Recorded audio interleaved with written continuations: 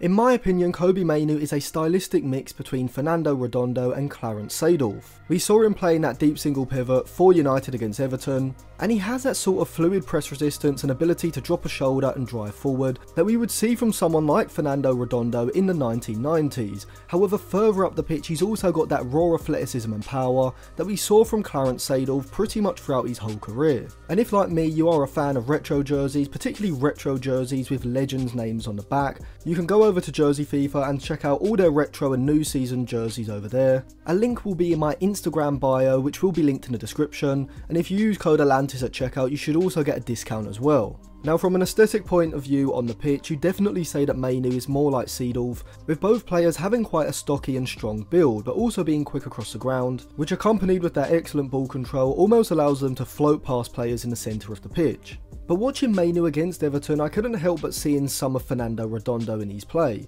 with his ability to drop a shoulder and swivel direction quickly being akin to the Argentine. And so whilst many people have been saying that they see Kobbie Mainoo as more of a number 8, being given the licence to push further forward, I think Ten Hag would be crazy to try to develop him in any other role than that deep single pivot, because as we've seen with Manchester City, it's incredibly hard to replace that kind of player. Even the likes of Mateo Kovacic can't really play that role to the same level as Rodri, and so with United having a young player who definitely has that sort of potential and is already showing the sort of composure and calmness on the ball that you expect from a veteran player, it's almost like he doesn't really need much adjustment at all. It seems like he's been playing that position for years. Also, the fact that from a defensive point of view as well, Mainoo is also performing to a very high level with his positioning, his awareness, he's knowing when to drop back into the back line, and his overall sense of danger being immaculate, particularly in the game against Everton, but also showcased throughout his other appearances as well. I don't see why Kobbie Mainoo can't develop into a top player in that deeper midfield position.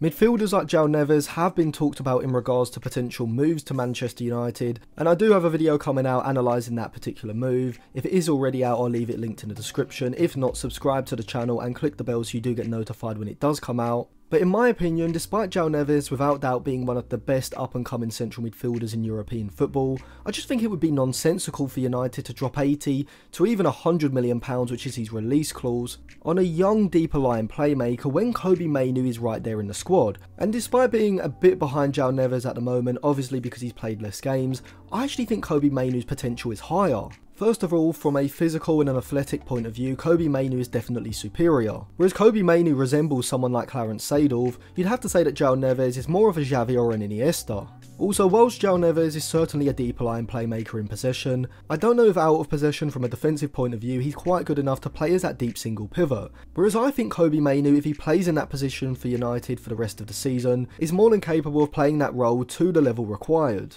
I also think that Kobbie Mainoo has one particular attribute which makes him stand out from all other young central midfielders, and that is his versatility which I think will be key for Ten Hag this season. So even though Kobbie Mainoo is starting as a deep single pivot, in possession United do use a lot of fluidity. You do see sometimes the centre backs pushing into central midfield, the fullbacks inverting or pushing high up the flank, and so when United do drop into their 3-1-6 possession shape, the player in that deep single pivot really needs to be able to play in any of the four deeper roles, and I definitely think Kobbie Mainoo can do this, as he showed against Everton. Now someone like João Neves could definitely do this in possession, you could see Neves dropping between the two centre backs, but also pulling into a wide position to receive the ball as well. The issue comes out of possession. I just don't trust Neves in that deeper four because there are going to be times when the opposition do win the ball back and there's a transitional play where the fullbacks or maybe one of the centre backs are caught high up the pitch and Neves needs to fill in in that back four. However, certainly from a physical and an aerial point of view, he's not the sort of player that you would want,